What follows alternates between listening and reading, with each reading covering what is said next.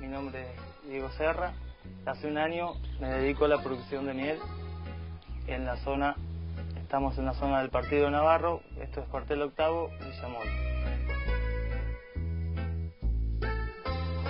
Este emprendimiento surge sobre un compañero que tiene, le dan unas colmenas para trabajarlas. Eh, yo fui a una escuela agropecuaria y tenía algo de conocimiento de, apicultura. Y empezamos a, a producir con 20 colmenas en producción y a su vez de esas colmenas nucleamos, se llama núcleo, al cortar las colmenas, hacer colmenas más chicas.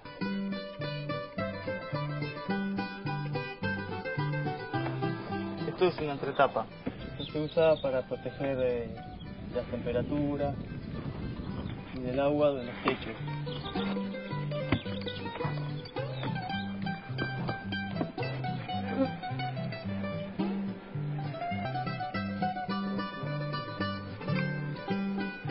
Bueno, de ahí nace la larva nueva, que es una reina, que a los 11 días, 13 días más o menos, nace.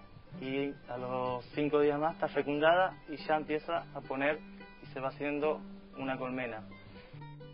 El tema de apicultura es lograr incentivarla a la reina que ponga para que llegue con mucha abeja la época de la miel.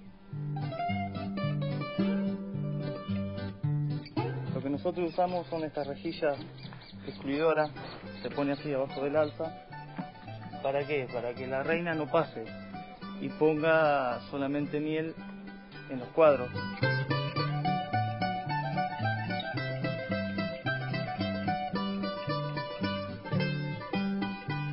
Hoy recolectamos la miel, al ser la última cosecha de este año, y se dejó más o menos 5 o 6 cuadros con miel que implican 15 kilos de miel para su propia alimentación la salsa con los cuadros que vimos allá, se le corta la cera, va a una máquina tractorial, de ahí, de esa máquina que tenemos ahí, lo traemos a este tambor para su envasado. Se deja dos días para que decante todo el resto de cera, que queda todo arriba del tambor, se limpia y queda miel pura.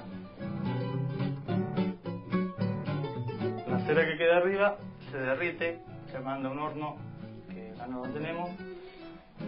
Y se hacen panes de cera que los compran para hacer cera nueva, para jabones, velas, todo lo que se hace con cera.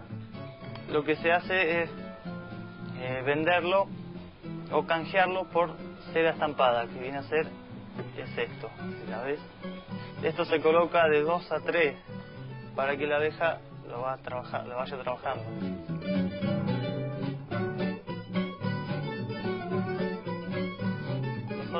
Venta más artesanal de casa a casa. Todavía no podemos colocarlos en grandes ciudades. Es muy difícil competir porque hay muchos y la, la Argentina no se come mucha miel. Y se puede ver la claridad de la miel que no está adulterada ni por supuesto nada.